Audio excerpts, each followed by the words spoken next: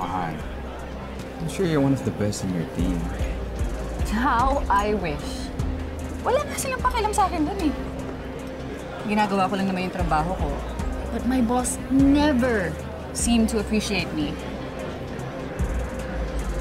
Patong may kasalanan. Ako patong mali.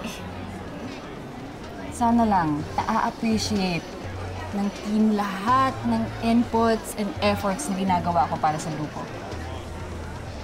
Well, you can hope. Or you can see if mas bagay ka sa team natin. Pinipirata mo ba ako? What I'm trying to say is,